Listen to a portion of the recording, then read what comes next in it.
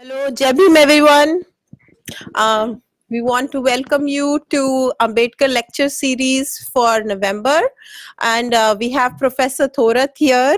Uh, Professor Sukhadeo Thorat is a renowned faculty in the field of economics. He has served as a chairperson of the Indian Council of Social Research and University Grants Commission in India. He's received several awards like Padma Shri for his work and contributions towards public service for marginalized groups and minorities. He has authored several books on caste discrimination in economics, health, and education. Today, he will be deliberating on economies of caste specifically. In India, caste is one of the major axes of inequality embedded in the society. It leads to exclusion manifested in all spheres of life, including access to services and control over resources. Caste as a socially constructed category determines the inclusion or exclusion for opportunities due to existing hierarchies of power and privilege.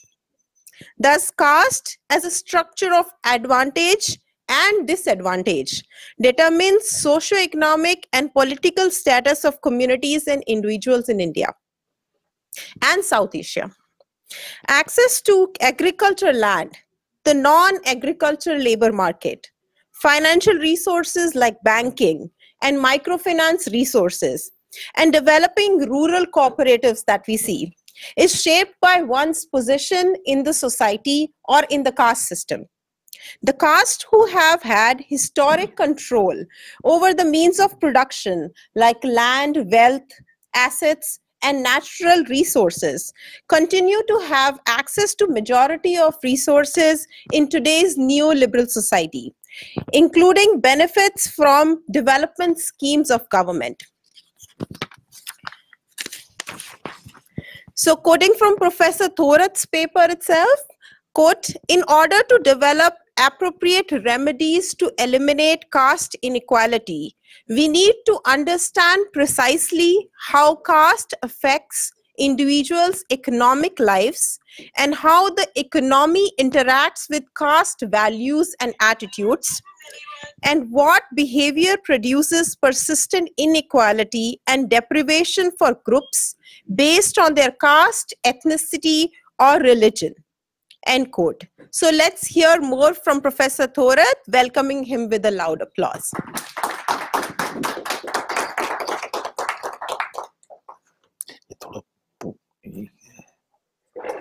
Yeah, because the chair can't be moved. Yeah.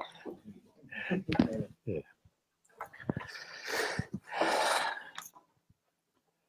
Good evening to all of you. Well, let me first uh, thank the Boston Study Group, uh, which has invited me to speak on or share my views on economics of caste system. Uh, Boston Study Group, I know, is, is extremely active organization here in city of Boston and Cambridge. Uh, they have been uh, collaborating with the initiative that the Brandeis University has started uh, about six years before, namely the, annual conference or conference uh, uh, on the legacy of uh, unfinished legacy of Dr. Ambedkar. They have been supporting this activity for from the very beginning, and also obviously the the Boston Study Group is taking many activities as I understand, and this is one of the activities. I think monthly lecture on Dr. Ambedkar is one of the activity. So I I quite appreciate this, uh, whereby you. Uh, uh, keep the consciousness alive about the problem of deprived group in India and elsewhere. Uh, therefore, my appreciation to all of you, the member as well as the organizer. Now, I was told that I should speak on uh, economics of caste system today. And therefore, I agreed to speak on the economic aspects uh, aspect of caste what are the aspects that we we we, we can sort of deal with as far as the economic aspect of the caste system is concerned let me first uh, uh, briefly uh, share with you the the foundation of the caste system or major principle of the caste system, major feature of the caste system, and how economics is involved into it. And economics is involved in, in into it in a major, major way. Uh, you know, way back in 1916, when Dr. Ambedkar wrote uh, his celebrated essay on uh, on theories of caste system and its growth in Columbia University as back as 1960, he made a very profound statement at that point of time that the caste is a enclosed class. And if you open it up, uh, you open the caste, you will find underneath the economic foundation to the caste system. This is not to say that there is no social foundation, but uh, the major aspect of the caste system is also economics. So let us see uh, what what are the feature, and then I'll I'll I'll I'll also uh, disclose the various aspects of the caste system from its economic point of view.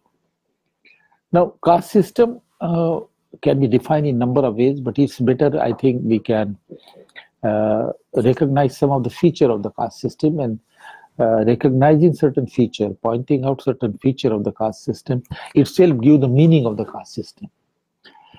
Now, caste system involve two, two, three important features. First is that it is a division of the Hindus into groups called caste.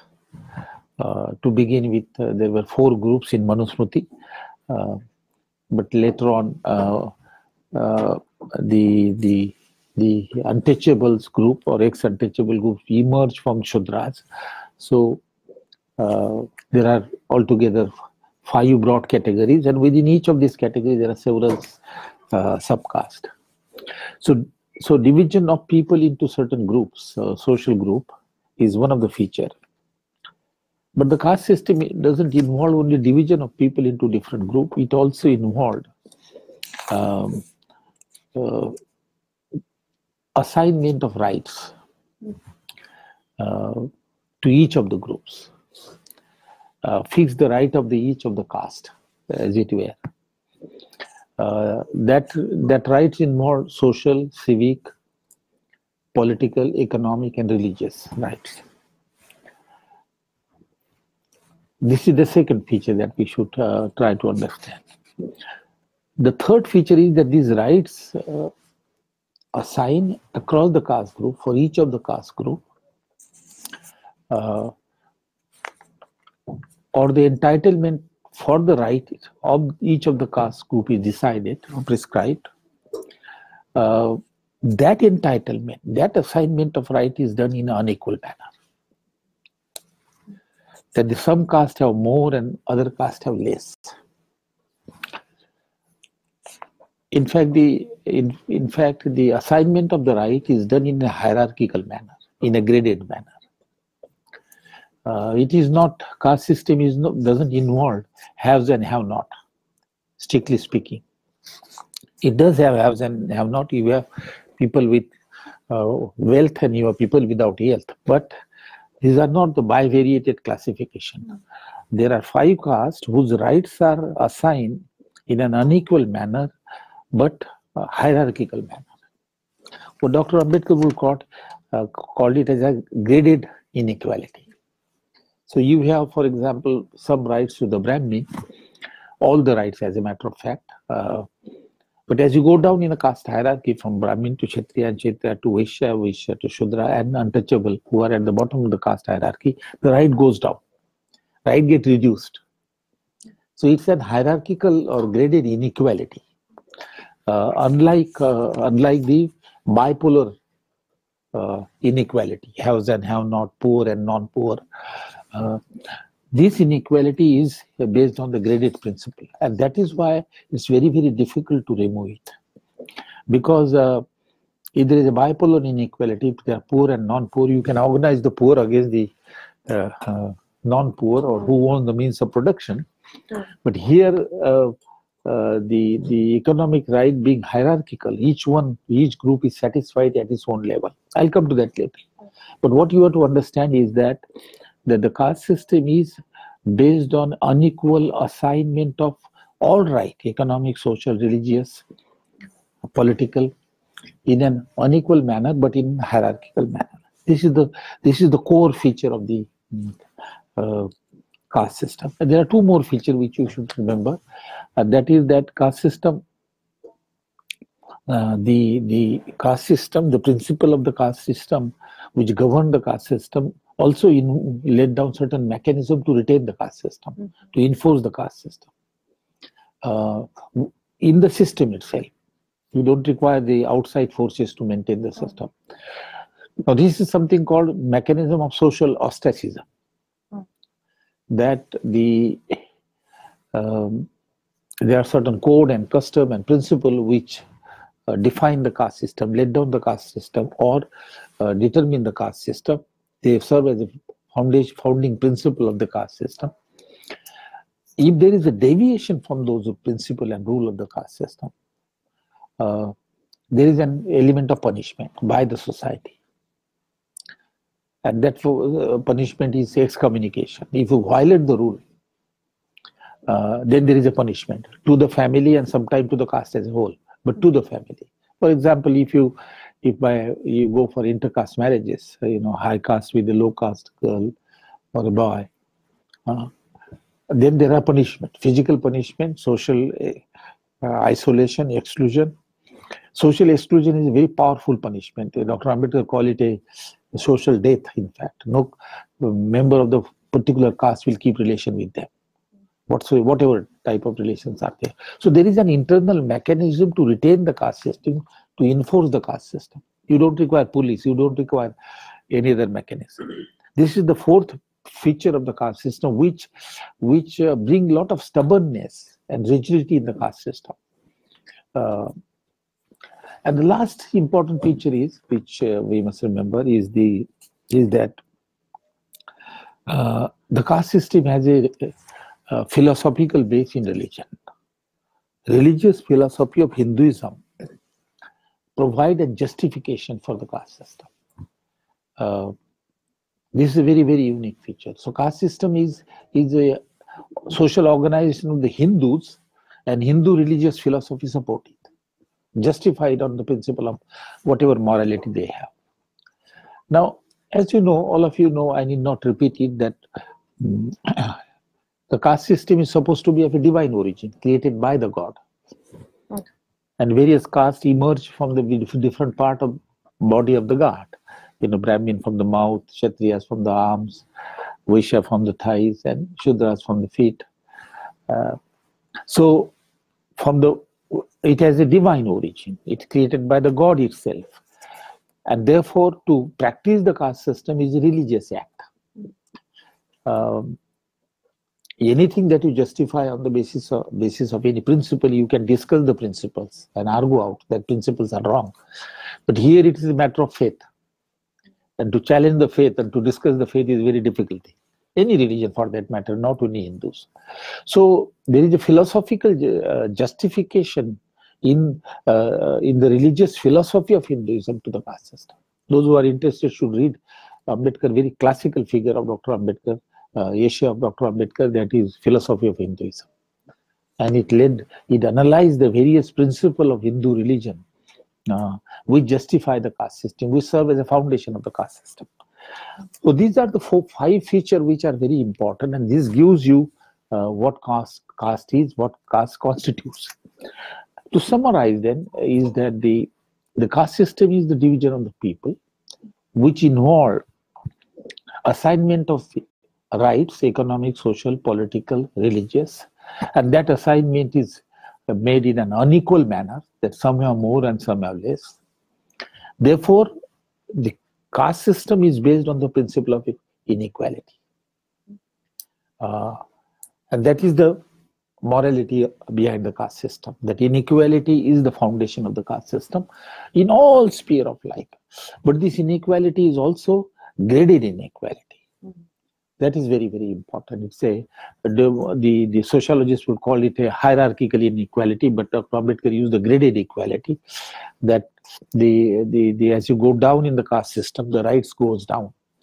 And therefore, untouchables who are at the bottom of the caste hierarchy suffer the most because they were denied all, all the rights. I'll come to the rights uh, later. So, uh, this is the the basic principle of the caste system that is based on the principle of inequality and that there is a mechanism to enforce it that there is a justification from the religious philosophy in hinduism therefore it brings a lot of solidity to the caste system. Many other institutions have disappeared. Slavery after enactment of law here in usa had disappeared there are there are remnants of slavery. There are modern forms of slavery. That is another matter. There are books around modern forms of slavery. But the slavery in its classical form, because of the uh, act, has, has almost disappeared. But that's not the case with untouchability of caste system. We have a act Untouchability Offence Act of 1955, Prevention of Atrocity Act of 1989, uh, and yet, despite the act, the untouchability and caste discrimination persist because its foundation is uh, something different. Now, after having look at the uh, features of the caste system and, and getting, getting some meaning of the caste system, uh, let me come to the the, the principle, uh, the foundations uh, principle of uh, governance of the caste system. Now, I have said that the caste system is based on principle of inequality uh, in entitlement of rights, social, economic, political, and religious. Now, the the the economic inequality across the caste group, inequality in the economic right is one of the most important and critical feature of the caste system. In fact, I would say that it is the fundamental uh, foundation, it is the foundation of the caste system. Had the caste system been based only on the unequal division of cultural, religious, and social rights, probably it would have disappeared much more rapidly than it is. Uh, but because of the economic foundation of the, caste system, the caste system remained uh, very strong and it, it remains uh, yes, stubborn institution. And therefore, Dr. Ambedkar disclose, open up what he says that the uh, caste is a enclosed class. Mm. Now, let us look at the class character, the economic character of the class uh, caste system. I'll also refer to the social, but uh, let us concentrate on the caste as such because the topic is today the economics of the caste system. Now, the caste system, as I say, assign economic rights, assign rights and particularly economic rights to different castes. But it does it in an unequal manner. What are those economic rights and how they are distributed or assigned unequally across the caste group? And as a result, it results into a massive economic inequality, poverty, uh, and the deprivation to the class, to the to the caste which are denied the basic economic right. The Economic rights which uh, are based on the principle of inequality and unequal assignment include ownership of means of production, mm. ownership of capital asset, uh, agricultural land in those days, now even today, uh, is a major capital asset which is which generates income.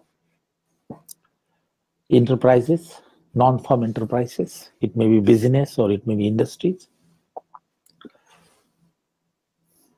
trade, commerce, which also include the enterprise, enterprises and business and services. Employment, casual employment, regular employment, quality employment.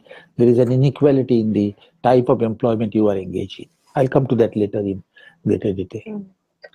Uh, then, of course, there are other uh, uh, rights which enable the growth of human beings, economic uh, uh, progress, and most important is, of course, the uh, right to education. These are these are the these are the economic rights which are assigned in an unequal manner across the caste group. When we talk of employment, we also talk of wages. So the inequality in the assignment of economic right in terms of unequal ownership of capital asset, which gives you income, land and enterprise and business, employment, wages, and education. These are uh, uh, unequally distributed. It has given given in a much more uh, voluminous way to some caste, and it, they are denied uh, to the lower caste. Let's take briefly we, we described. if you take the uh, ownership of capital asset or what we call in a simple word occupation, then you then you discover that uh, the ownership of asset is clearly defined. That is that the occupation uh, of uh, right to education and to teach, to to educate and to teach, especially religious preaching, is an exclusive right of the Brahmin. Uh, that right is denied to all the three castes.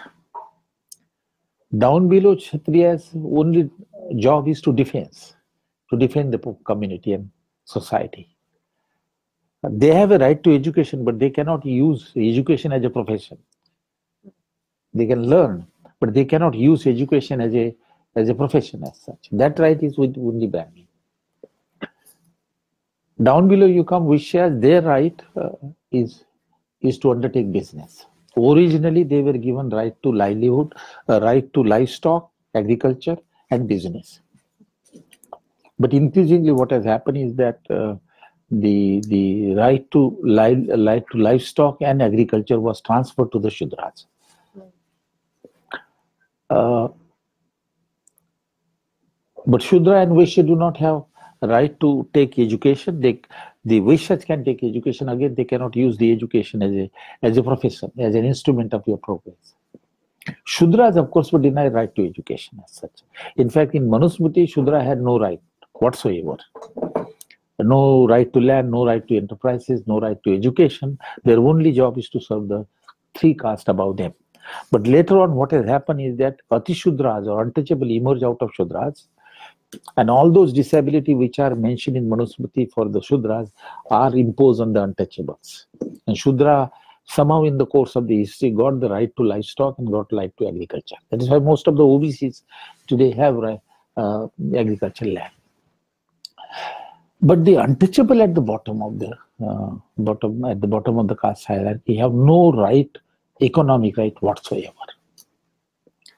Uh, I do not want to quote directly from the Manusmriti, but whatever I am saying is, is codified in literal term in Manusmriti, that untouchable cannot accumulate the wealth. They cannot have access to education. Their only job is to serve the three castes above them and now four castes above them, include the, include, including the Shudras.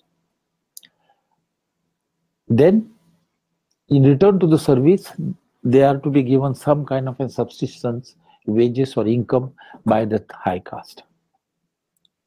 Uh, uh, in fact, it is very clearly mentioned that uh, whatever leftover food is there of the higher caste should be given to the untouchables. Yeah.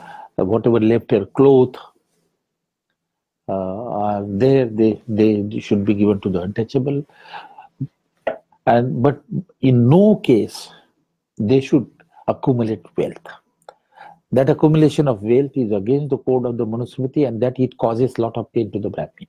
Their only job is to serve the brahmin. It is not mentioned that their only job is to serve kshatriya vaishya or shudra mm. in the text it is mentioned that their only job is to serve the brahmin. Now you can see that the economic right that is ownership of capital asset education and employment is highly unequally distributed and untouchable have none of these. Their only job is to serve the uh, four high caste. Now, uh, so you can see that the, the caste which laid down the uh, and rules with respect to the ownership of property right. Uh, how does it involve the distribution of unequal distribution of economic right? And thereby creating classes in a hierarchical manner. That is what Dr. Ambedkar said. We are disclosing, we are opening that box uh, as a matter of fact. But there are other things uh, with respect to the untouchable because their situation is pretty bad. Uh, worse than that of a slave, as a matter of fact. Dr. Ambedkar has an essay on slavery and untouchability, and he compares and how he he feels that the untouchability is worse than the slavery. He has given many reasons. I won't go into that. But there's one point that I would like to mention, and that has come to me. Uh, you know, this is because I'm working on this project uh, with the uh, initiative taken by the Harvard University. The one of the important facts that we discover is the following. Dr. Ambedkar did mention in philosophy of Hinduism that Hinduism recognized slavery, but slavery was again in a graded manner. Uh, that the untouchable can be the slave of every caste. Uh, all the castes above them. But the slavery was graded. The Brahmin can be the slave of only Brahmin. Kshatriya can be the slave, slave of Brahmin and Kshatriya. Vaishya can be the slave of Vaishya, Kshatriya and the Brahmin. And Shudra can be the slave of uh, Shudra and the other caste above them. So that is how the even slavery was in a graded manner. But what is important is the new fact which has not been brought out as clearly as it should be, uh, that there was a slavery in a general way in Hindu society. But that slavery was based on the uh, individuals, you know, on of the certain certain people are considered to be slave. Uh, there was a slavery associated with debt. There was a slavery that emerged out of the war. You defeat certain group group, and those who are defeated, you can take them as a slave. Uh, there was a slave market. Now, this covered the entire society. So you will have a slave uh, from different caste. But the unique feature of the slavery, which has not been highlighted, is that, that the untouchable as a whole, as a caste, were declared as a slave. Ethnic caste-based slavery. Others were individual. Uh, slavery was based on individual. But here, as far as the untouchables are concerned, the community as a whole was declared as a slave and subject to serve the uh, high caste.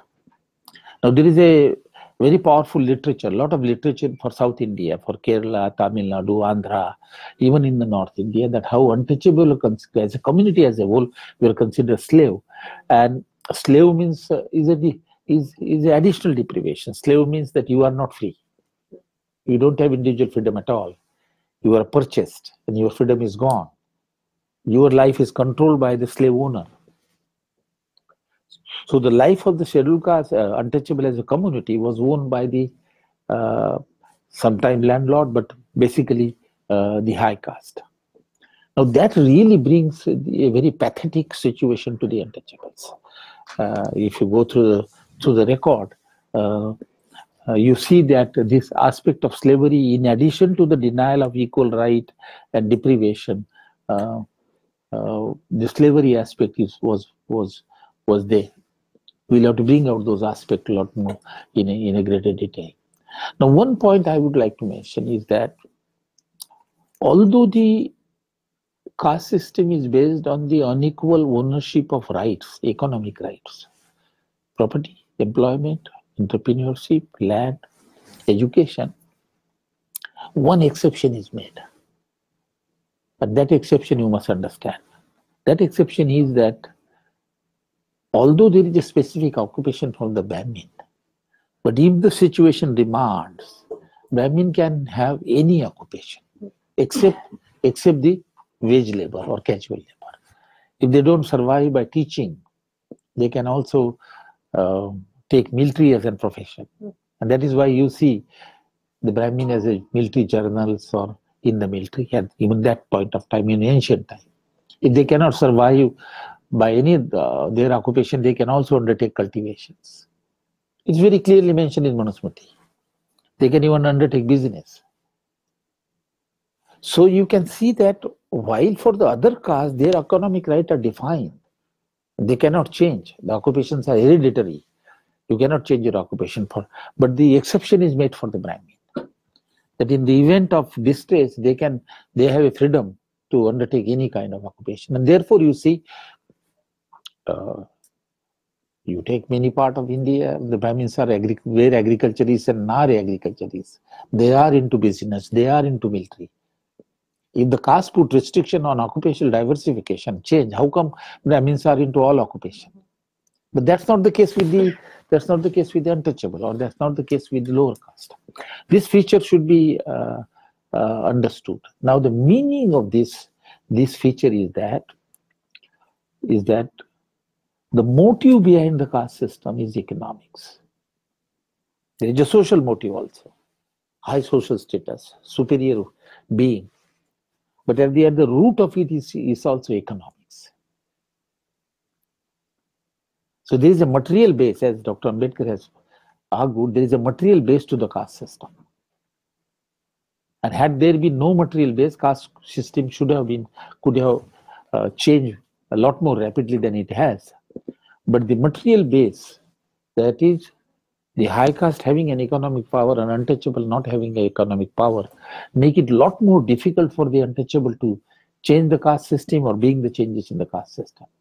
The economic power of the high caste over the untouchable put a lot of restriction on changing the caste system.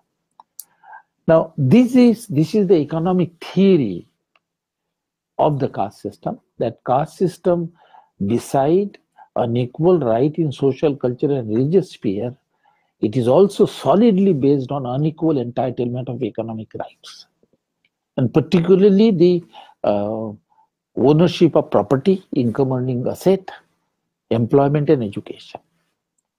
Uh, massive inequality you can see. And the denial of all these rights to untouchable have turned them into a very, very pathetic section of the Indian society. Uh, they have no right either to property or to military or to education. Besides being the fact that they are considered excluded, uh, isolated, segregated, uh, and a lesser human being, uh, polluting and impure, that also added to their deprivation. But the had they had uh, some land, right to business, the change could have been of a different nature.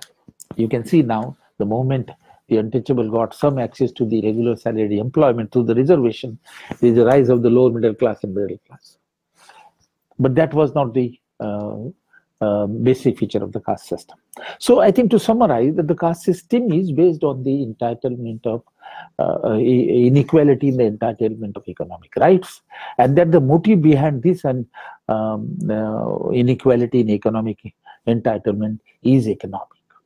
A greed that we should have more and the other should have none. So there may be a spiritual motive, the motive of high social status, but behind, but most important is is the economic motive, the material motive, and that should be uh, kept in mind. So if there is an opposition to economic policies like reservation, the reason is that that the high caste believe that the, their privileges in employment, public and private employment, regular salary, are being encroached by the lower caste. Otherwise, why why why there should be Uh, opposition to it? Now, this is as far as the theory, economic theory of caste is concerned, economic foundation of the caste is concerned. But this is the past and this is the theory. There are two aspects which we need to discuss as far as the practice is concerned. One is that this unequal assignment of economic right had a devastating consequences on the untouchable particularly, and to some extent on the other backward caste. Now the result was quite clear that the untouchable right from the beginning of the introduction of the caste system, uh, it resulted into assetlessness not having any ownership of capital asset, income earning asset like land and industry and business. It resulted into a massive illiteracy among the scheduled caste, uh, untouchables. And being, being illiterate had no capability to take a regular salaried job in any case, they were not allowed to have a regular salary job. But the, the, the education which enable you to take a good quality job, that was also denied. So that most of the uh, untouchable would be casual labor rather slave labor. Besides the fact that there was a social exclusion, untouchability, uh, isolation, segregation, that was definitely a part of the untouchable. But in economic terms, they were deprived by all sources of economic mobility property, employment, and education. And that you can see even today. Much of my work, which I began in early 90s uh, by collecting the data from here and there, was to see the ownership of uh, um, capital asset, ownership of property, income earning asset, employment, uh, education, and whichever data you take, what you discover is this massive inequality, massive deprivation of the untouchable uh, from the ownership of means of uh, income, uh, education, and employment. So you see at the end of it is that bulk of them are casual labor. Bulk of them, despite the law, are bonded labor. Bulk of them, despite the, the law, bonded labor, attached labor. Uh, so these are modern form of slavery, you might say, bonded labor, attached labor, uh, and there are reasons for that. Manusmriti was written somewhere around my, uh, BC 185 or 200. There is a general agreement among everybody. Now, how many years? If you add 200 years to the to to till the till the British period when the untouchable or when the untouchable untouchability act was brought in. It was brought in 1955, but Britishers made some relaxation. Nowhere in the world that the, the institution like this was practiced for the, for about 2,000 years, or little more than 2,000 years. Mm. Slavery was for 450 years or around that. The caste system, which involved denial of property right, to untouchable particularly is the only system in the world which has been there for such a long period of time. And that's the reason why the situation of untouchable is pathetic and and uh, beyond beyond limitation. So this was the outcome. Uh, assetlessness illiteracy heavy dependence on casual labor exploitative labor these are the main features that we can see uh, uh, among the untouchable. And therefore, uh, mobility and development for them is extremely, extremely difficult. Now, how how we have we have several laws now. Uh, it began with during the British period to a certain extent. We can say that in early 20s, certain uh, rights were introduced by the Britishers and others where individual rights were preserved. Individual rights were legally recognized.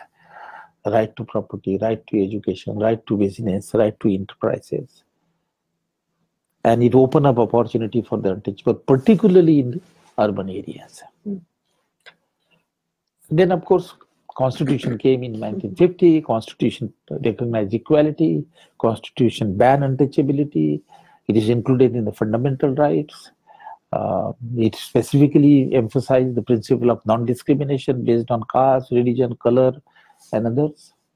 We brought that into constitutions, equal opportunity and equality before law, uh, and also empowered the government through the directive principle to develop policies for the mm. betterment of these sections. But despite all this, there has been an improvement to a certain extent. I don't have a time to give you data, there has been some improvement but the original feature of the caste system in a comparative framework still remain there mm. the bulk of them are without agricultural land bulk of them are without enterprises bulk of them are uh, employed as a casual labor and much less in the regular salaried labor whatever little employment they got is in public sector government sector because of reservation uh, bulk of them in private sector are in informal sector on contractual basis with lower wages.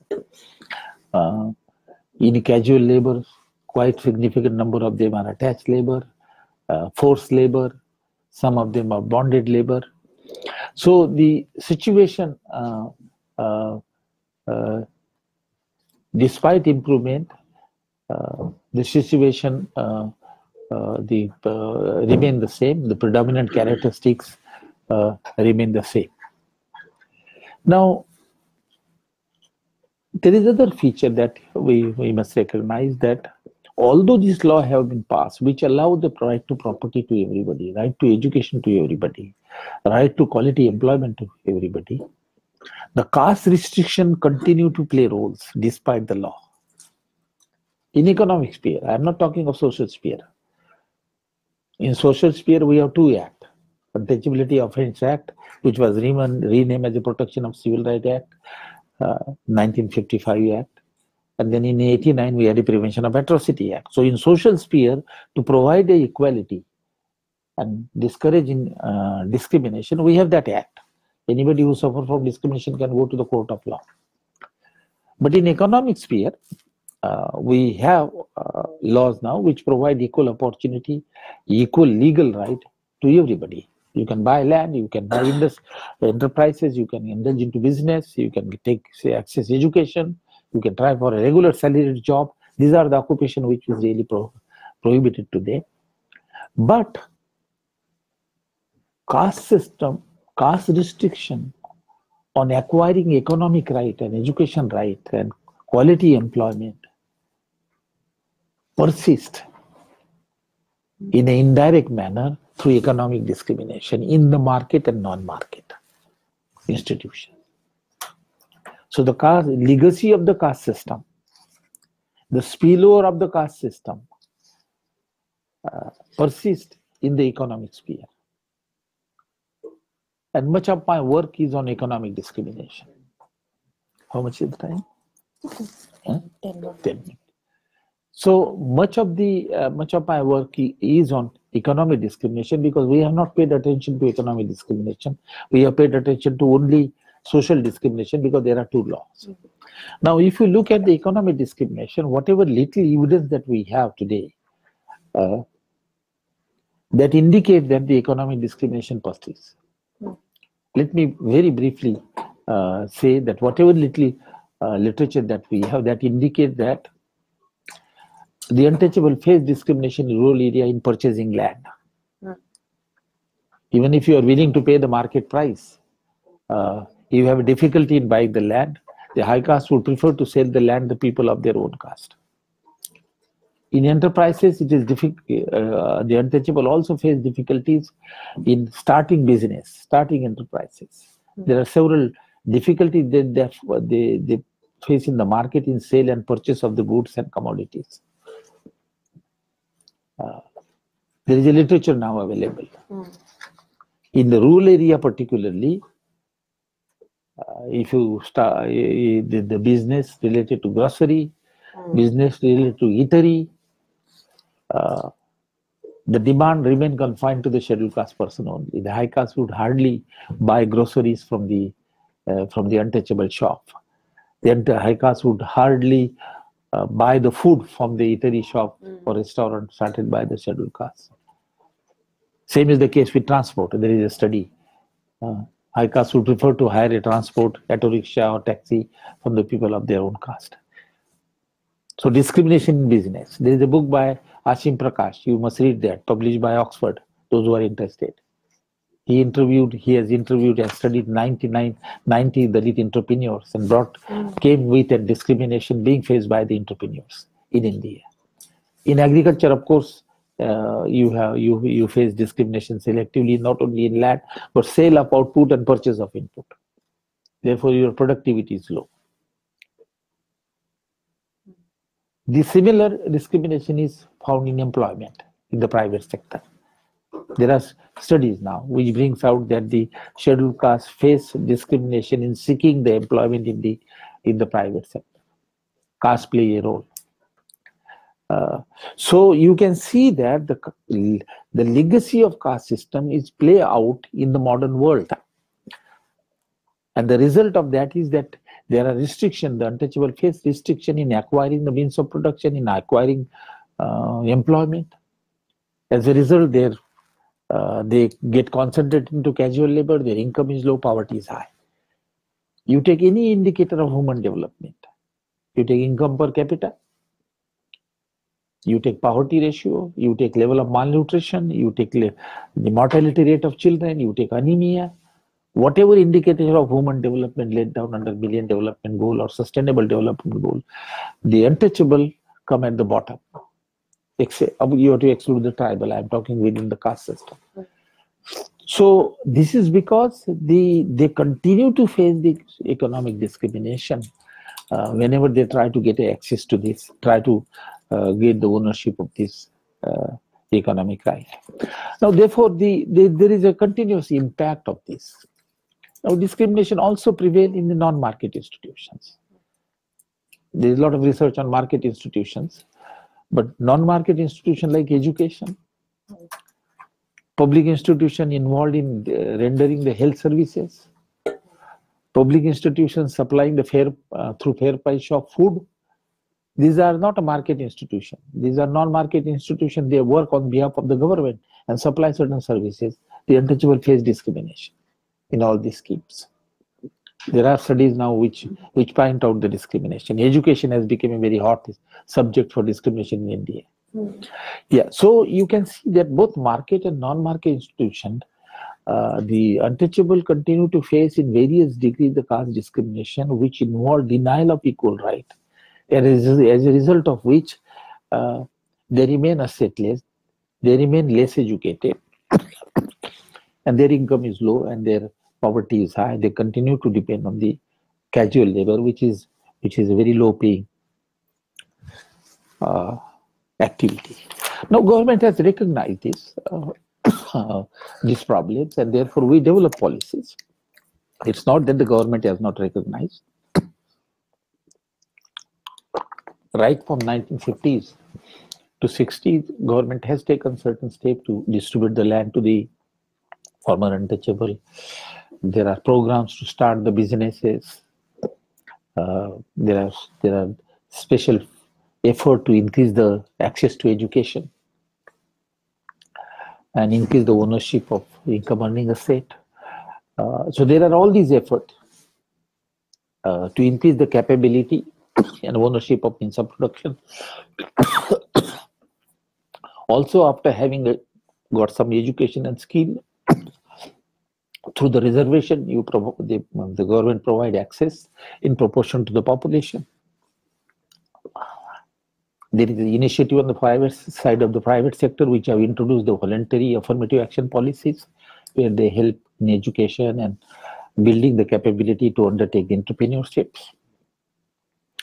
Uh, but uh, uh, the efforts are fairly inadequate and that that that result into untouchable untouchable remaining at the bottom of the hierarchy there are no drastic uh, measures uh, there was a land reform, and despite that, bulk of the scheduled are landless.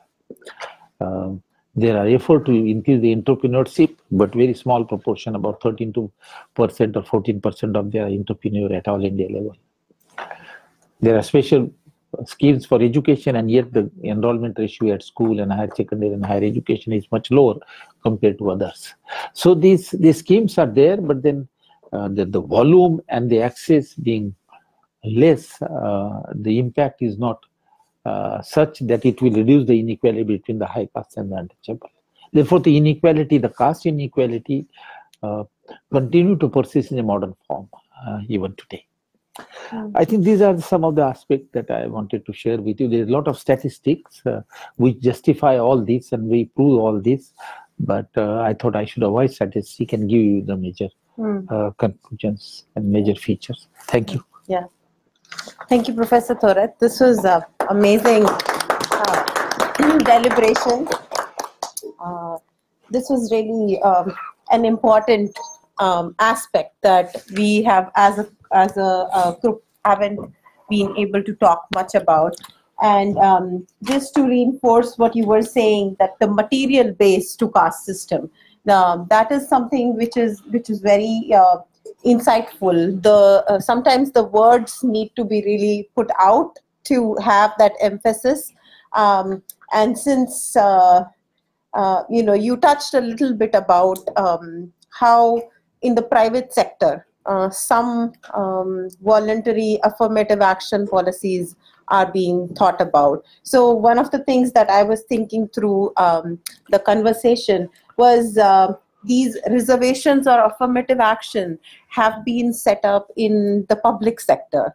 So those have some um, you know space to have uh, safety nets or safety guards but in the private sector um, those don't exist. So uh, so if you want to finish your thought about i know you were talking a little bit touched a little bit upon uh, private sector if you want to finish your thought about how private sector is doing certain things to bring in um, affirmative action policy. Well there are two points which i will share with you quickly.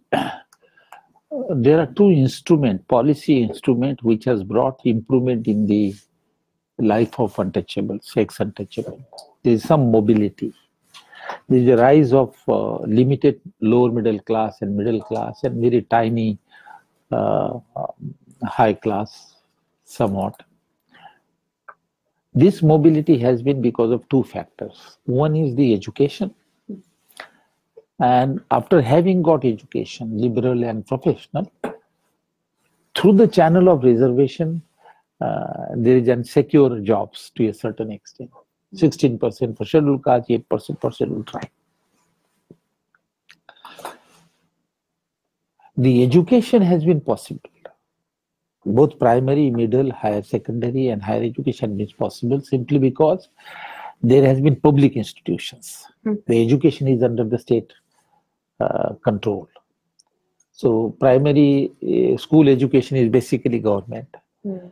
College education is government plus the private aided, but private aided just work on the same principle, same fee. So these public institution institutions have enabled the access to education to this poorer section among the uh, among the untouchables and even others also. An improved education and through the channel of reservation, they uh, got the jobs in the public sector and the government sector. Now, these instruments are being eroded very rapidly. Hmm. One is that there is a privatization of the school sector, education, and privatization of higher education. By making the making the education expensive and beyond the reach of the poor, hmm. there are certain certain scheme for the scheduled caste, scheduled tribe student whereby fees are paid by the government, uh, by some state, but not by all, that come as a relief. But by and large, if you take all the education sector, mm. the access has been reduced right. uh, because of the privatization and edu- education being quite expensive. So the education which has enabled and develop a educated class among the scheduled class who take advantage of jobs through reservation, that education is now getting uh, reduce. Mm. Number one.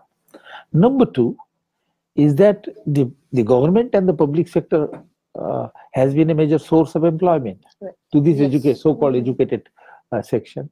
Now there is a privatization of the public undertaking. As a result, the share of the government uh, government job has been reduced mm. considerably. Uh, there is a very important article of mine in EPW mm prejudice against reservation. I have given all the mm-hmm. figure in this. Those who are interested can read it about one and one year before. Now, so there is a privatization. As a result, the public sector job, government sector job has been reduced. Mm. As a result, the 16% of that reduced is very small number. Hmm. Second important thing is that even those government sectors which are present today, there the government has introduced the appointment on the basis of contract. Mm-hmm permanent position uh, are there, but the appointment of C and uh, D categories of job has been made uh, to a large extent on the contract basis, one yearly basis, two yearly basis, and there is no reservation on in the posts which are on contract. So there is a this is a backdoor privatization by the government institutions.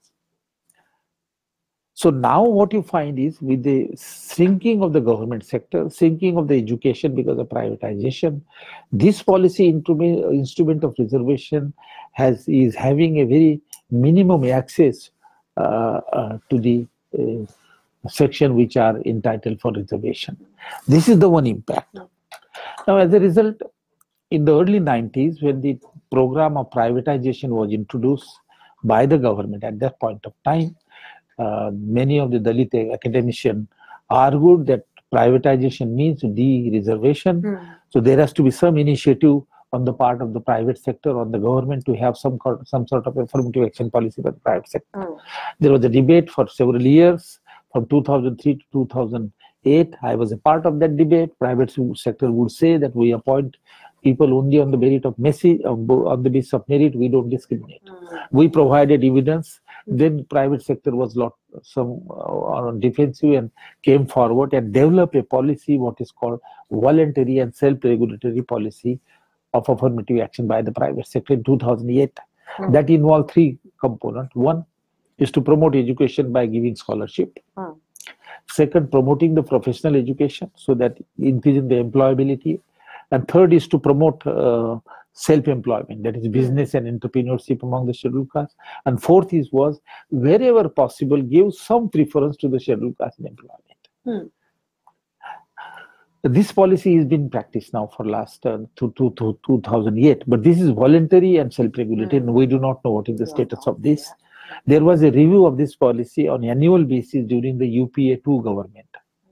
But in the last government, there was no meeting, there is no review whatsoever. So we do not know as to where the, this stand. And so there is a constant demand that this affirmative action policy should be made accountable. Hmm. We must know what is happening and it should monitor and accountable if if the law is not there because everybody oppose law, but at least make it accountable, Hmm. at least make it transparent. Hmm. So that is the issue uh, that uh, is there. There are certain industries which are doing quite a lot of work, well, particularly Tata, Forbes in India. Hmm. Uh, they they bring out what they do. Hmm. Uh, Mhm. Thank you, sir. So we'll open it to the audience for questions. Um, we can take questions as Venkata. Okay. Professor you have done this work about the, the private sector discrimination, right, based on uh, the names and caste, you know. So, uh, can you talk a little bit about that? That was like around 2000, I, I first read. And then there is also, at the same time, there was a study that came out, uh, you know, the expansion of our economy, whatever we are, India's growth story is all about sort of high-tech jobs, right? Hmm. I mean, IT jobs. That was the basic driver. And uh, there was a another study around the same time came out and said the 80% of these new economy jobs are basically grabbed by the 20% of the upper, you know, I hate to call upper, but dominant caste, whereas the 80% of the lower population is only representing 20%. So if you can talk, you know, that that's uh, growing economy, Hmm. uh, you know, and in that, I think these lower sections have a very little stake and very little going on. And I know some of the remedies, uh, it's, it's mind-boggling. The, the public sector itself, you know, it's reducing, you know, this, um, their footprint and they're removing these, you know, like IIMs. Hmm. Now they've made autonomous and they will decide their Hmm. own way whether to do. So in this space, I think uh, there should be a formidable effort to make private sector accountable, you know, Hmm. to some fashion to do their social responsibility. You know, I mean, reservation is the word that they use, but I mean, in US they practice. It's, it's a diversity. They are, take pride in talking about if you're African American hmm.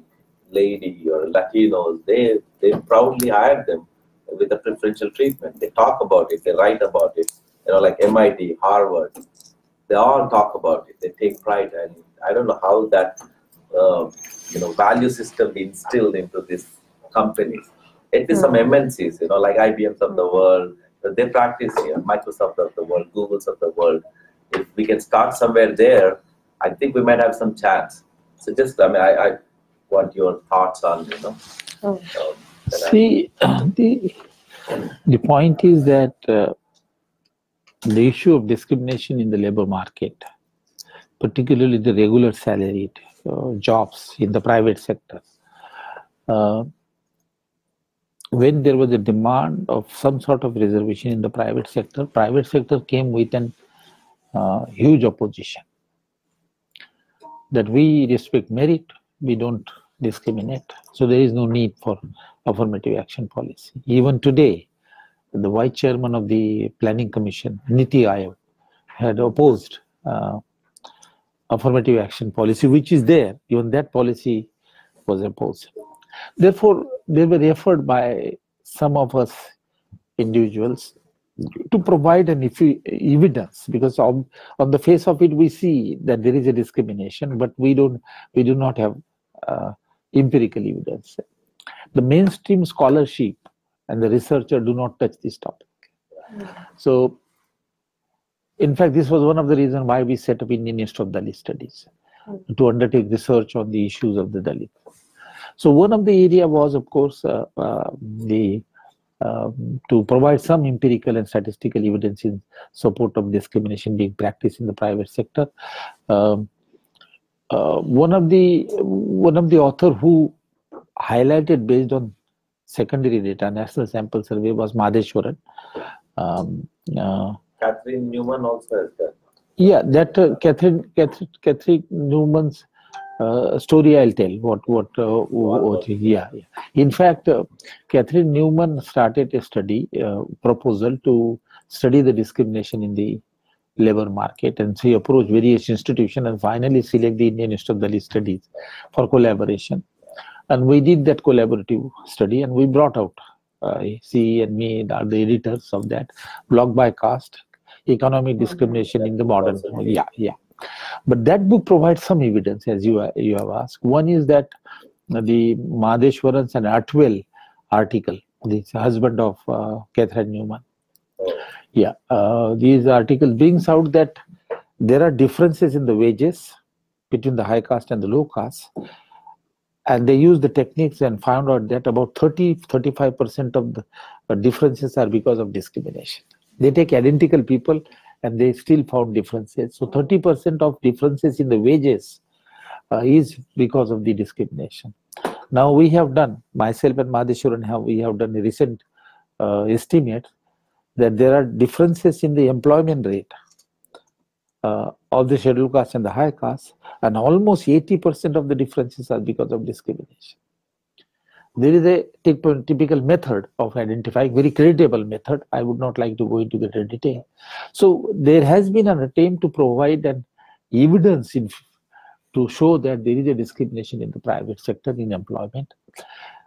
The paper that made a very uh, lot of air was was the correspondence study me myself and attewell again the the husband of the katherine newman. Uh, uh, we have an article in that newspaper uh, in that book is that what we did was that we took seven, eight newspaper, English newspaper, Times of India, Indian Express, Hindu, Hindustan Times, and we take the advertisement into in, in those newspaper put up by the private sector. Mm.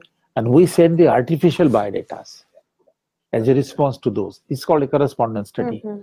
What we did, we had a four pair, scheduled caste, Muslim, high caste Brahmin, and one another fourth there was high caste Brahmin with a low education and scheduled caste with a higher education. Mm. Say Brahmin with BA and uh, Dalit with MA. And the biodatas of all these four sets were sent with exactly equal qualification. Not only qualification, but the background also, parental background, English medium, and all that. But they were sent as if they were sent from a different addresses. Mm. It was monitored in the institute.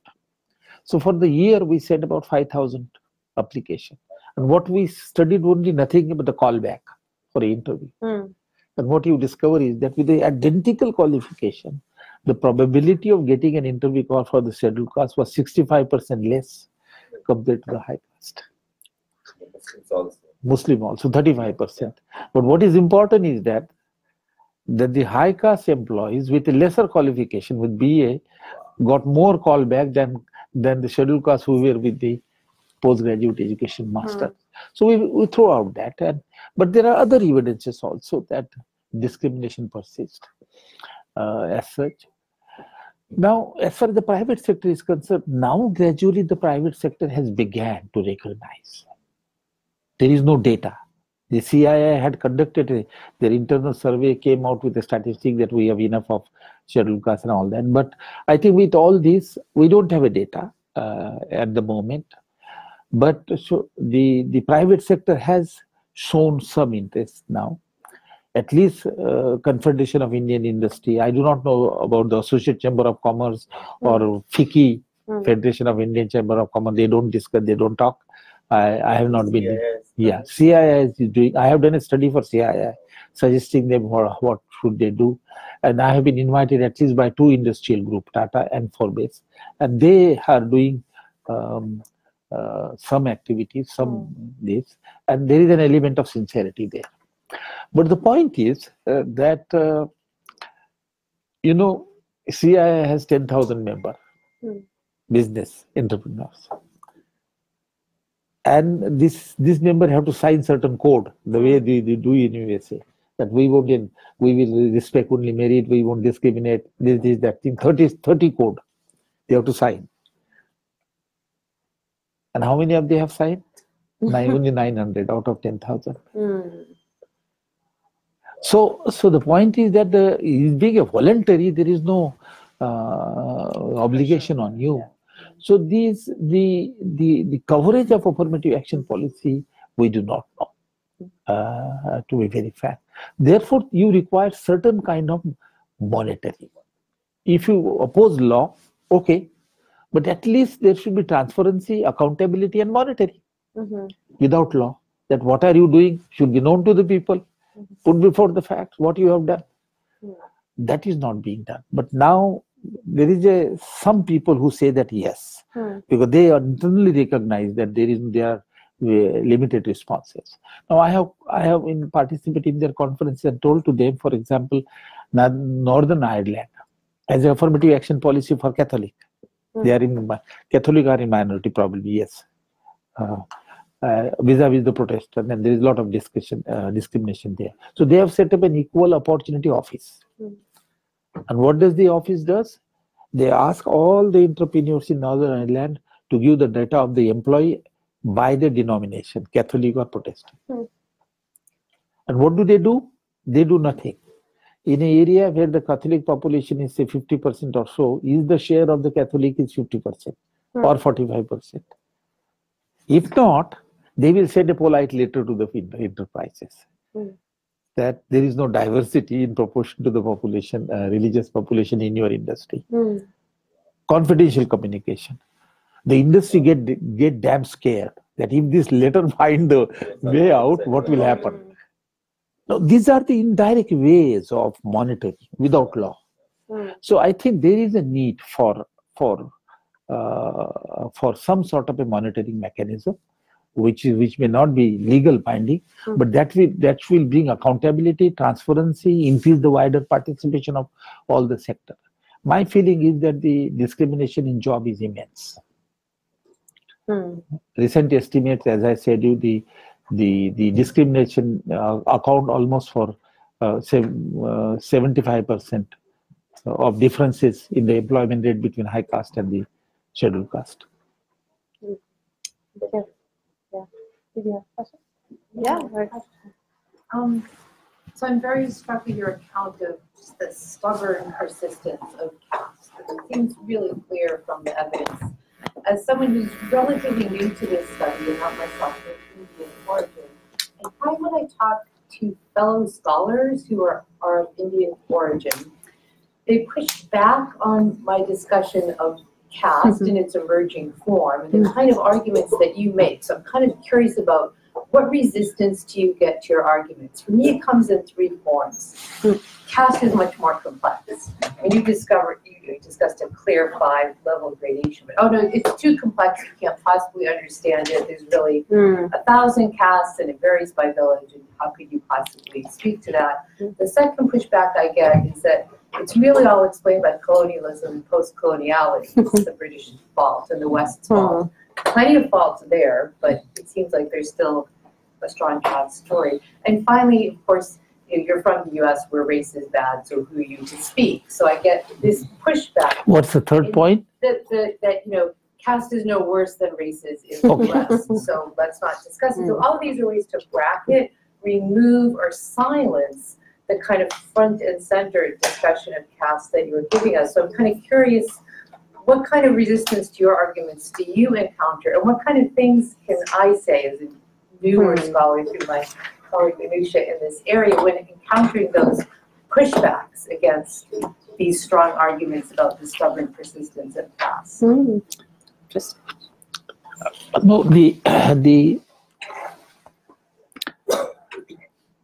the stubbornness is there. I mean, the the fact of persistence of caste in modified form. Caste has changed, certainly changed. Many features of his caste have, have been reduced and uh, are no more there. But there are important features there which persist, and these are negative features. Uh, so stubbornness is there. There is a data uh, that brings out.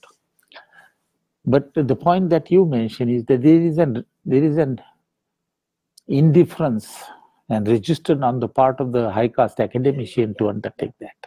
That, that's it. Yeah. So uh, I am not making a statement based on the research or study, but I think there is a lot more openness here in USA to study the problem of race and racial discrimination than than studying the uh, issues of caste discrimination in India. Uh, uh, the high caste academician has has bypassed many areas related to caste. Economic discrimination was one. Uh, why should not they do it? The entire scholarship and research is confined to high caste here. As a matter of fact, it is only in last 30, 40 years that the people from low caste and middle class have entered into academics. Uh, but otherwise, it has been confined to the high caste. But they have not taken study. So there is a reluctance on the part of it. But the most most disturbing feature, I must say, very very disturbing feature is that that there has to be there has to be an opposition and support on the part of high caste to caste reform, to policies, to education. Unfortunately, there is no support. And if I may say so, there is an opposition Mhm. to the effort made by the low caste. This is very, very. Uh, this is a feature which is which is not found to be found as much in USA for that matter or Canada. I have been in Canada. Yeah. I give you two examples. In England, there is a whole lot of Hindu population, and some organization brought out the caste discrimination between them Hmm. the Human Rights Commission or whatever Equity Commission in England set up a committee under which uh, David Mosse and uh, Dhanda, these are two professors and one more, and they they brought out a report. They they brought out a report in which they provide evidence in support of caste discrimination. The government accept the report, prepared the. We are planning to prepare the act Mm. against caste discrimination. Who came forward as the opposition? the priest of the various Hmm. temples and the Hindu organization came and put pressure on the uh, government.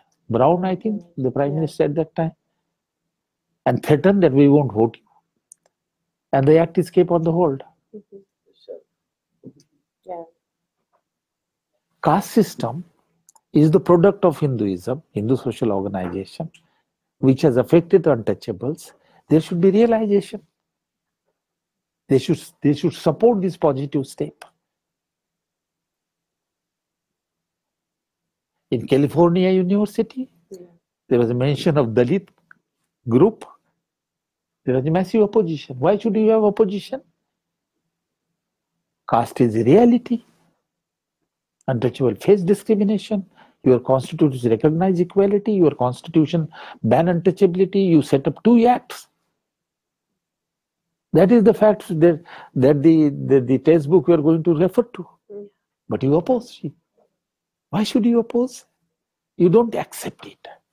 The acceptance is not there. And that is one of the reason uh, why uh, the, this, the, the elite section, the intellectual section, education, educated section is not in support of reform. Then there are issues, there are problems. Caste will change very slowly. You know, wherever colonialism gone, Christianity also followed. And Christianity has not opposed it as much as it should oppose. But at least after several, several years, Pope has apologized for slavery. We are yet to get an apology from Shankaracharya as an Hindu, Hindu head. On the contrary, there is justification. There is no apology, there is no uh, repentance that this is untouchability and very massive section of the society uh, is suffering from this. This is the most negative aspect of the uh, Indian intellectual and educated section. Uh, this is not to say, I must underline it and very emphatically, this is not to say that there are no caste reformer from the high caste. There are. There were many of them which work with Dr. Ambedkar when the Manusmriti was burned in Mahad, a part of the pages of Manusmriti were burned where the untouchability and other things were indicated. It was, it was the Brahmin Sahasrabudhe who burned it. Uh, there are several of them uh, who were with Dr. Ambedkar. There are several of uh, high caste social reformer, middle caste social reformer. But taken together, mm. The dominant voice is that of silence, dominant voice of the, that of you know keeping cool, and at time opposing. Now, in the present period, you find that this train in support of the social organization of car is in fact increasing. So I think uh, it's a, the, the, the, the intellectual section and education section, section doesn't take initiative, who will take the initiative? And that is one of the factors which I think bring the stickiness to the caste system. I mean, we surely have a lot of work to do on race in the US, but we do have the Academy, critical whiteness studies, and some white anti-racism, lots more work to do, but there is some wedge in. Yeah, yeah, yeah. A lot of participation, a lot of participation by the whites, yeah. I'm not saying that the high castes are not there on social media, they do, but the proportion is extremely small. But what is most disturbing is that if there are some effort which are made against the caste system, you don't come forward. On the contrary, you oppose. Mm. You don't recognize. You are you are reluctant to recognize the uh, the that the caste system was the institutions, and we need to oppose. And I think those who say that it's, it was a colonial institution is complete bullshit. Let me use a very strong word. All those social scientists here in USA and in India, if they say that the caste system is of the colonial origin, they are wrong, completely wrong. They are distorting the facts. I don't name very, very eminent social scientists in USA had said this, and there are many other also. Manusmriti was created by Manu. Mm. You have the test. It was practiced in ancient India, medieval India, British India. What British did is to conduct the census and estimated it numerically. That's yeah, all, nothing else. Yeah. And you attribute the origin of the untouchability and caste system to the Britishers. It's a, it's a uh, dishonesty of highest order, I must say. Mm-hmm. In fact, during the British uh, period, uh, we got little bit of relief yeah. in some form yeah. or another. Yeah. yeah. Uh, good evening, sir. Thank you for your talk. I, I had uh, one small question because this is on economics and caste. Uh, this is with regards to affirmative action. What are the economic uh, consequences or importance of uh, affirmative action in uh, political representation? Has it served any economic, uh, you know, purpose, or it has not served any economic purpose? Mm. Because at least uh, in um, government recruitment you know, one family gets uh, benefited economically, parents get benefited, children get benefited. So, what is the benefit uh, the individual is getting, if, uh, uh or the community is getting uh, because he or she belongs to SC or ST community in political community? No, you are talking. You are mixing the question. You are talking of reservation in employment, as well as political, the, uh, political, political reservation. Okay. Mm-hmm. Economic benefit is difficult to say, but I will try to answer your question. See, political reservation uh, is important uh, or relevant. The answer is yes and no. Uh, partly yes and partly no. I would say that. See, the the political reservation uh, was brought in by Dr. Ambedkar in 1932 through an agreement with Gandhiji and the Congress and the British is to give a due representation to the scheduled caste. In the absence of reservation, political reservation, they will not be represented. That was also the story for Muslims, so there was a separate electorate for Muslims. So in order to ensure that uh, uh, proportionate representation to the discriminated community, political reservation was brought in. Uh, the other purpose was that if they are directly represented in the lawmaking bodies, they will they will represent the interests of the community. Other would not. Other can also represent, but they would not uh, represent as much as the scheduled caste would. So it was earlier. The idea was the representation of interest, and that interest could be represented by anybody. But Dr. Ambedkar would say that no, the interest will be representation of the interest will be preserved more properly provided there is a personal representation. Mm. Uh, and that argument was uh, was uh, to a greater extent correct. So it was for Muslim, it was for scheduled caste. Now women are asking because there is a process is discriminatory. Gender discrimination is there in the political process. Half of the population of India is women, and their share in the par parliament is only 14 percent. Mm. Half of 14 percent of the population is Muslim. Their share in the parliament is only 4 to 5 percent. So you can see the discrimination in the political process. Now, coming back to your question, I think the the representation of the scheduled caste to the tune of 16% in Lok Sabha and State Assembly helps them in number of ways. That they are able to participate in the policy making process. Uh, they are able to uh, oppose the changes in the policy which harm the uh, uh, scheduled caste. Uh, so becoming a part of the policy making body helps in number of ways. There are standing committees attached to every ministry. There is a standing committee attached to the Ministry of Social Welfare and Justice. And if you look at the report of those committee, they are uh, these reports are uh, include the policy suggestion. Most of the member of the standing committees are from uh, this background. So I think uh, uh, to a greater extent, uh, this political representation give the share, but as well as help them to build up the policies uh, for their welfare. This is the positive side of it. But the negative side or limitation, I won't say a negative side, is that they are not able to do as much as they should do. They succumb to the mandate of the party mm. Which they belong. So they should represent the real interest, but they continue to represent the nominal interest. They are a nominal representative uh, at time and not the real representative mm. because they have to look after, they have to act according to the political uh, ideology of their party or political mandate of their political party. Mm. Why do they do that? The reason is the following that when the political representation was given through reservation in 1932, there was a serious debate between Gandhiji and Dr. Ambedkar on the method of election, mm-hmm. method of electorate. Um, Dr. Ambedkar wanted separate electorate, mm-hmm. but he he got finally reservation, which is the present reservation. What is the difference between the present reservation and the separate method of electing the scheduled caste or scheduled tribe? Uh, the difference is the following: the separate electorate, which which was there for Muslim, which Britishers has given, but Gandhiji refused, and therefore Ambedkar had to make adjustment for reservation. The separate electorate is that a constituency is identified, which is a reserved constituency or separate constituency.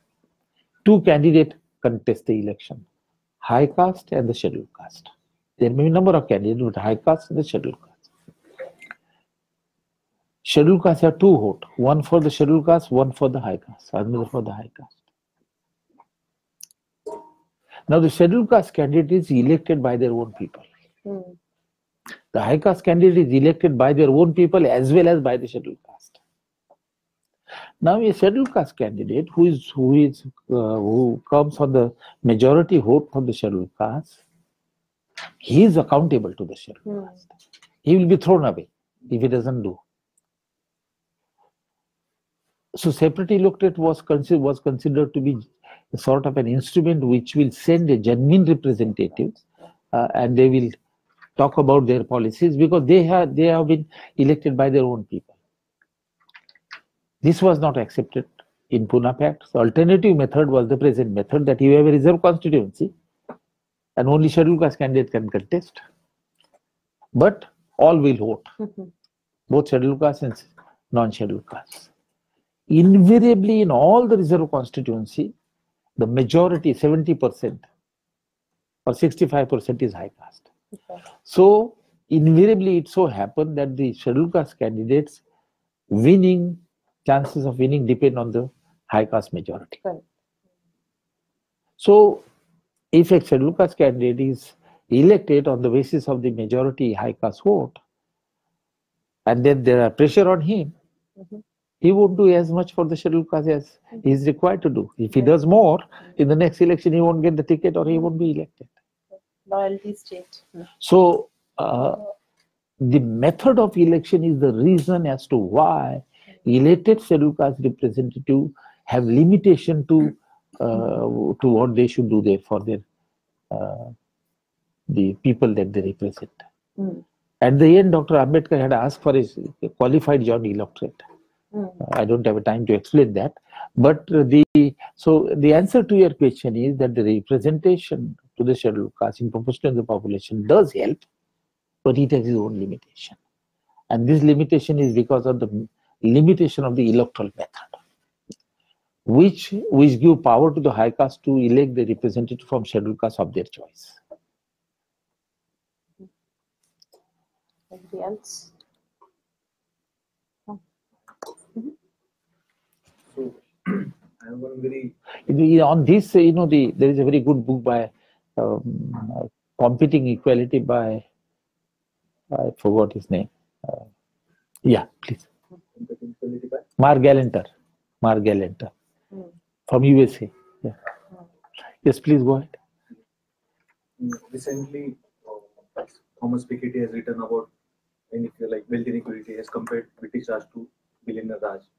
One and he has like he told that from since 1922 to 2015 how economic inequality within the first like top one percent and last bottom fifty percent the caste has increased four folds. Apart from that, agriculture census recently has like, told like has showed the inequity in land holding 80% and 20% among the and upper caste. And for this, um, uh, for this, what Dr. Ambedkar gave that what solution or what remedy has like spoke about is state socialism and recent political phenomena of getting privatized, like privatizing public institutes. So, like how much uh, anti-caste academics or uh, like people who are working for uh, uh, like bringing down inequality should propose the remedies like state socialism. Is there any future for proposing this, or like what other like what innovations like are required from academics or anti-caste practitioners to propose that and bring down economic inequality among castes? Yes, I think the growing inequality in US and Europe uh, has been the subject of discussion, a very serious discussion. In US, I think the the major work is Dr. Professor Stiglitz, you know. Great Divide is the first book. Uh, Price of Inequality, the second book. Uh, in UK, um, um, Inequality, What Need to be Done? Mm, Atkinson. Uh, so these all books have brought out the growing inequality and concentration of wealth. In fact, they brought out the concentration of wealth in the hand of few. Therefore, they talk about 1% against 99%, you know, uh, huge concentration of wealth, income earning asset. Now, as far as Piketty's work is concerned, his very important work, I, when I was chairman of the Indian Council of Social Sciences, I invited him. Yeah, yeah. Hmm, yeah. See, uh, what uh, his work is remarkable in the sense that uh, he has brought out the increase in inequalities in wealth and income, uh, in income particularly in, in Europe and USA. And uh, the major contribution is the following. The entire development discourse, development strategy and development discourse in USA was based on what is called the research by Simon Kuznets in mid 50s. Simon Kuznets works for major work on income distribution. And he has studied the economic growth of countries, major countries. Now, based on that, he had, he had put up an hypothesis, empirical hypothesis, that when there is an economic growth, increase in the income, in the initial stages, the income will, uh, there will be increase in the income inequalities, which means the relatively rich people will get more share and poor will get less. So inequality increases. But he said after some time, uh, the inequality will not increase and then it's, it will start declining. So the relationship between the economic growth and income distribution or inequality in income is such that in the initial stages inequality increase, then it stagger out and then it decrease so that poor also benefit. Mm-hmm. That is why you see the changes. So it, it was called inverted U curve of Kuznets. Now, Piketty has blown up this myth completely. Mm. Uh, Piketty argued that Kuznets was right, but it was an exceptional situation of Second World War. After the Second World War, whatever happened, that led to this uh, kind of a situation. But after that, if you take the latest data, he discovered that that doesn't happen. The inequality continuously goes on hmm. increasing. So he used a very strong strong word that Kuznets curve is dead.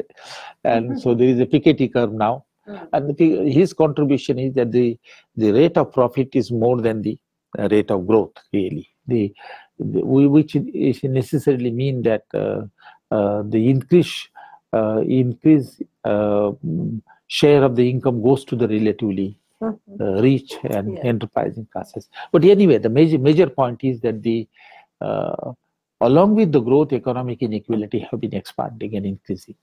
Uh, uh, unless you take the policies. So therefore, I think even before Piketty's work began, uh, there was a serious thinking even at the World Bank. Uh, because uh, the experience of the Latin American country where the income had increased but the poverty has not declined as much as it should have declined. So there was a sort of disconnect between the economic growth and the decline in the poverty.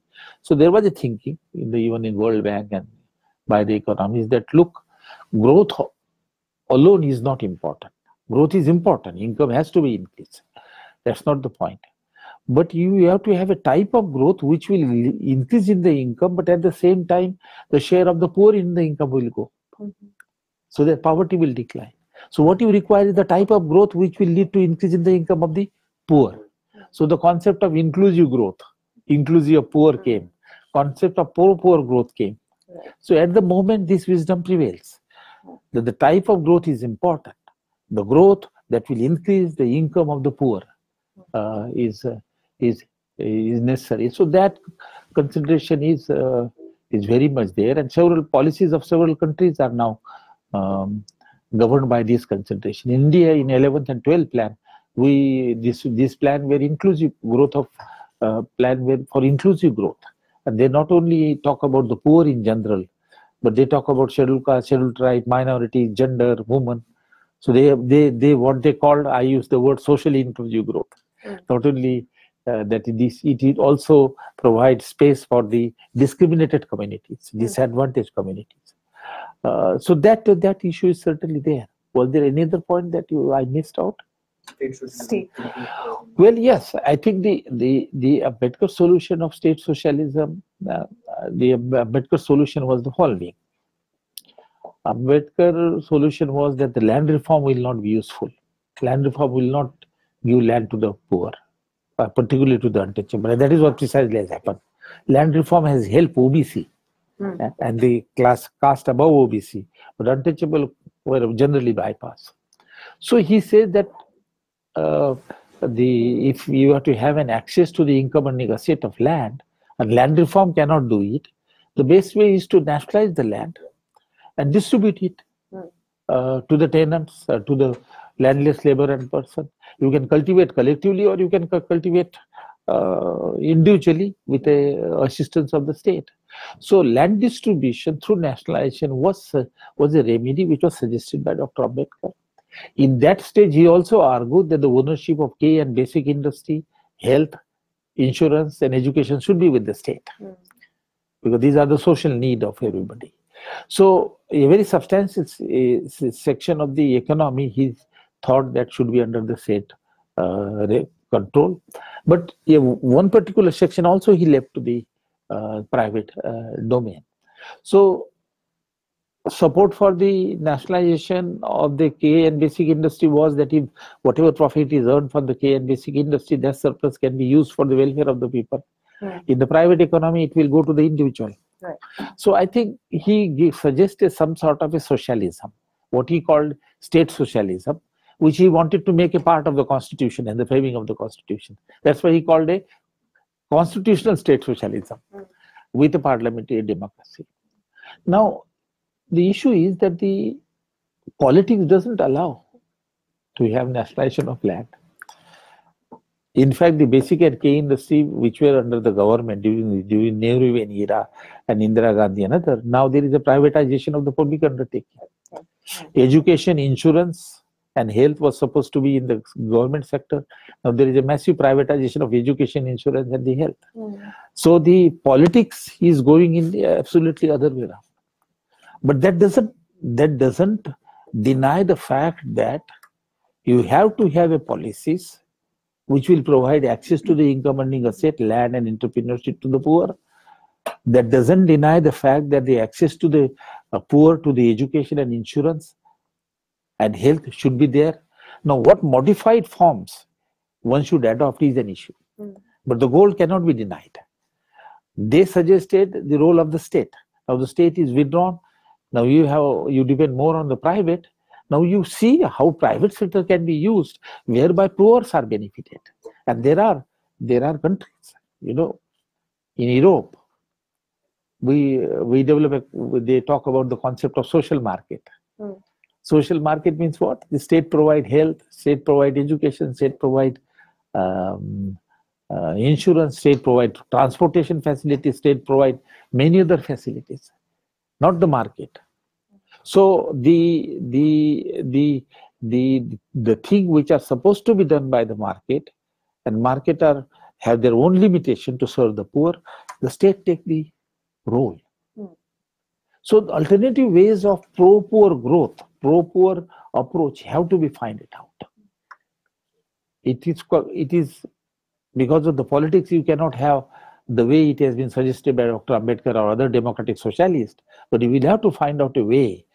How do you develop the policies within the framework of private economy and market which will help the poor? Otherwise, it has its political consequences.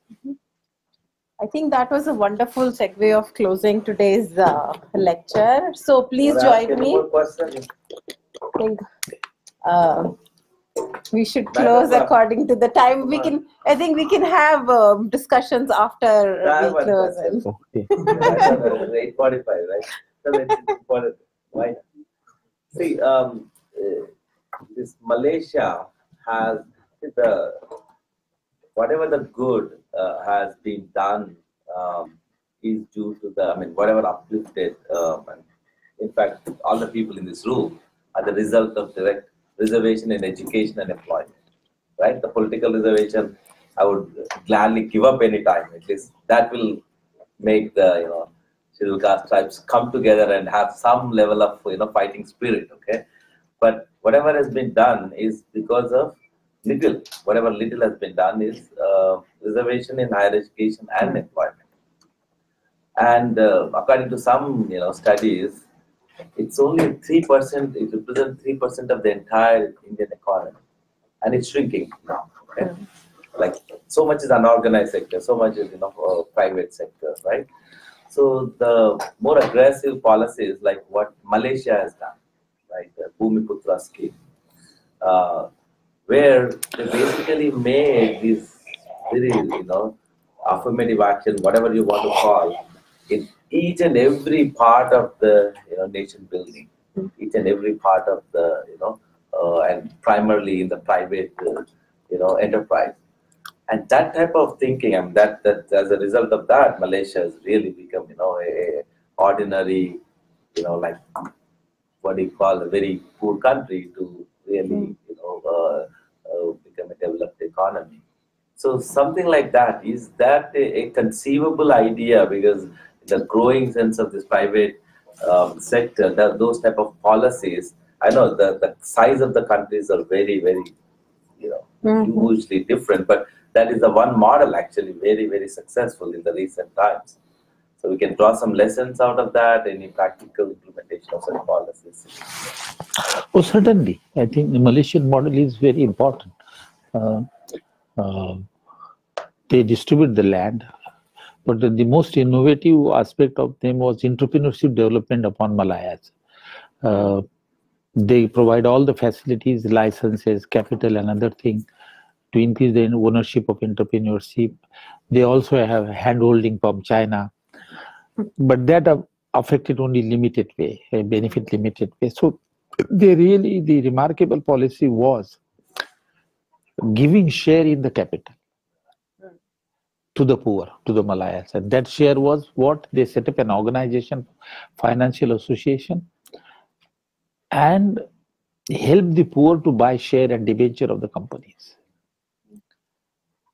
So you get capital gain at the end of the year a certain amount and it helped to reduce your poverty so the ownership of share and debenture shares, equity capital of the Malayas increased from 7% in 1972 to about 30% in 1995 or so.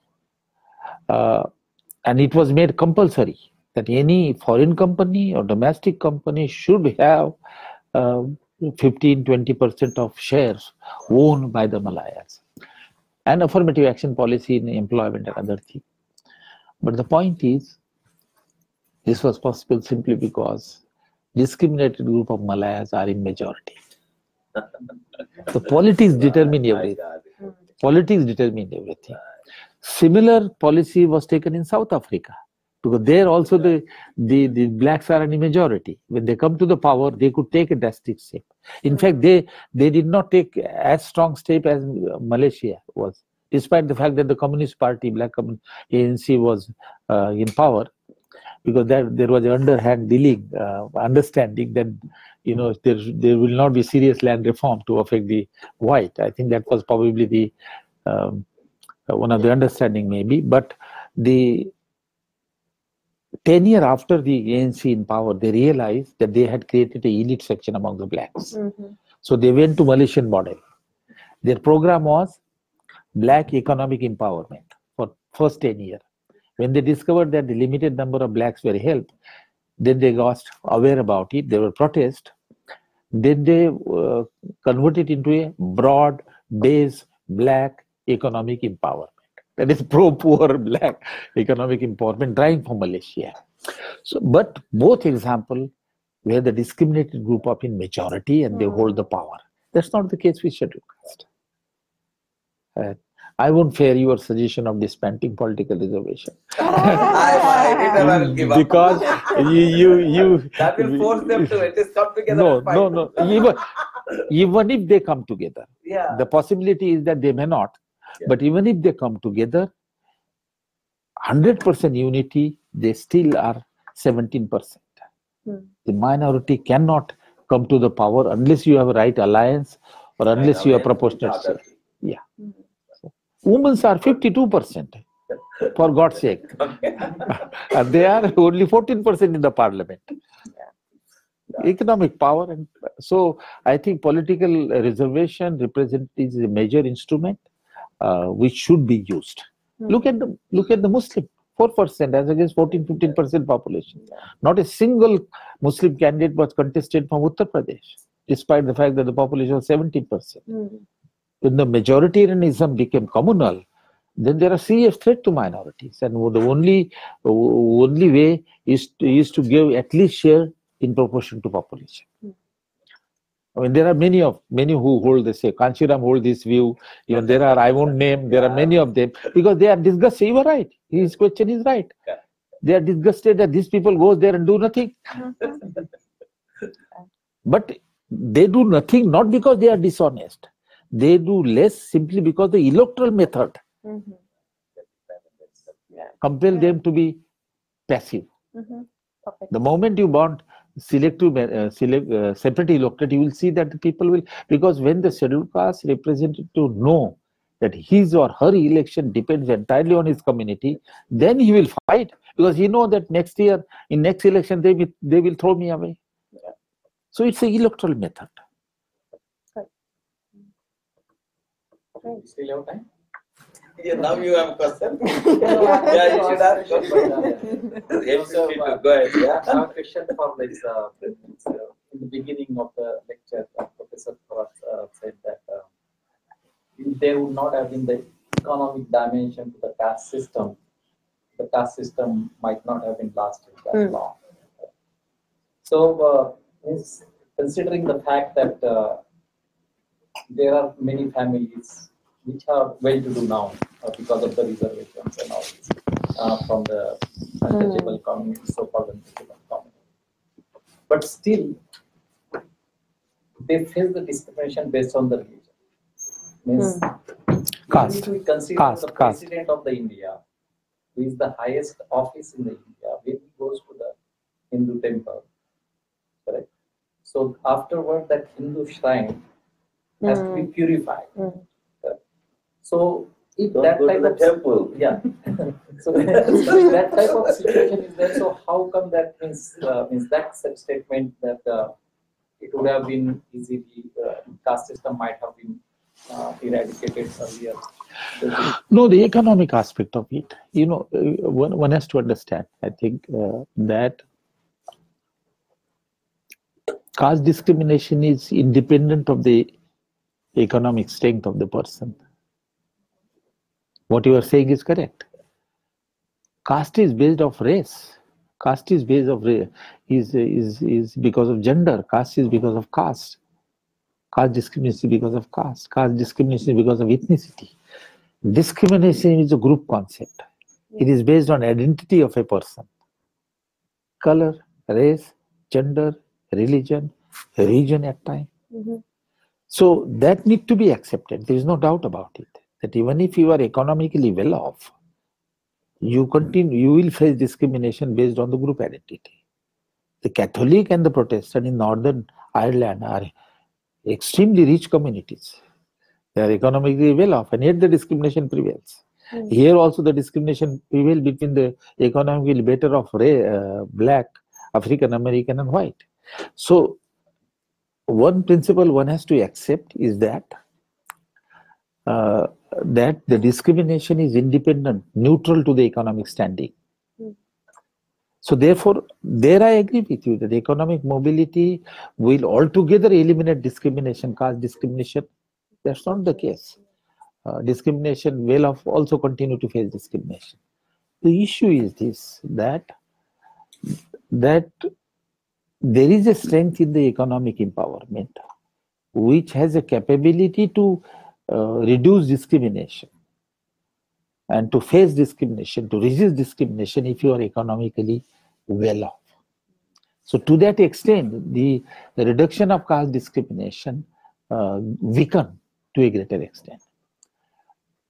Uh, therefore, if economic empowerment and education empowerment comes in, there is a economic mobility, gap get reduced, see, contact increases, and intensity of discrimination get reduced. That's the only limited argument can we make. Uh, so economic empowerment is the solution. That's why you you you will see that in all his program, Dr. Ambedkar focused on bullseye, give education scholarship, give jobs through reservation, give land. He did not remain confined to Untouch- Untouchability Act only, Mm. but he focused on the economic and education empowerment. So I think that is very, very important. It will erode the, reduce the intensity of the caste, but it would not eliminate caste together, caste together altogether, because caste has an independent base also, which is based on the identity. And to that extent, is neutral to the economic standing. So you have to have both. But economic base of the caste system make the untouchable completely helpless, completely deprived, poverty stricken, and then more subject to discrimination. Mm. Uh, the people in the urban area who are regular salaried job, they should, they also face discrimination in the offices. But they don't face atrocity, they don't face humiliation as much as the agriculture wage laborer face in the rural area. That's the only difference. Finally, sir, uh, you said that uh, the, uh, you know, untouchables and all that didn't have, uh, you know, uh, rights of education. But I'm curious to know, Valmiki was, I don't know what. Uh, if he was SC, then how come he wrote the Ramayana? Then two, Vedavyasa, he wrote Mahabharata. I think You I'm also- going to counter uh, the the question now because we are talking about should- this, and you- this can be an offline Offline. discussion. Um, If, if the, yeah. you know, who, who are upholding Brahmanism now, now, nowadays? Who are upholding the Brahmanism? I did not mention. Yeah. Is those who suffered from caste are upholding Brahmanism. Please. So, uh, you are very right. You should go and ask. Mhm. He- I was just curious to know. yeah, you, you are you are very right. You are very right. All right. So let's close. Let's uh, please join me in thanking Professor Thorat for this wonderful lecture.